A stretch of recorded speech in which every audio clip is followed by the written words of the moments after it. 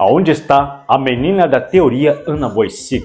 Desde seu último vídeo em que ela foi atacada por uma espécie de espírito maligno conhecido como Skinwalker, não se teve mais notícias do seu paradeiro. Mesmo com todos os acontecimentos ocorridos com influenciadores em diversos lugares do mundo, como Brasil e Estados Unidos, as autoridades não têm agido, pois não existe uma forma lógica e racional de enfrentar espíritos que atormentam pessoas. É necessário que se tenha afinidade espiritual e conhecimento profundo. Anna Wojcik tentou fazer rituais para afastar a entidade, porém não obteve sucesso. E o espírito perseguiu Anna Wojcik com uma réplica de forma totalmente assustadora em um de seus vídeos, com um grito macabro e marcante. Até o momento, Anna Wojcik não deu notícias de como ela está neste momento.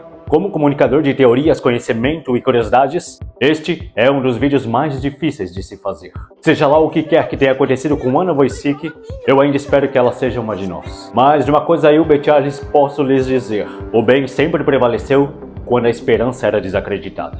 Que assim seja para os tempos difíceis que se aproximam. E que Deus proteja a todos a quem ele considerar o merecimento.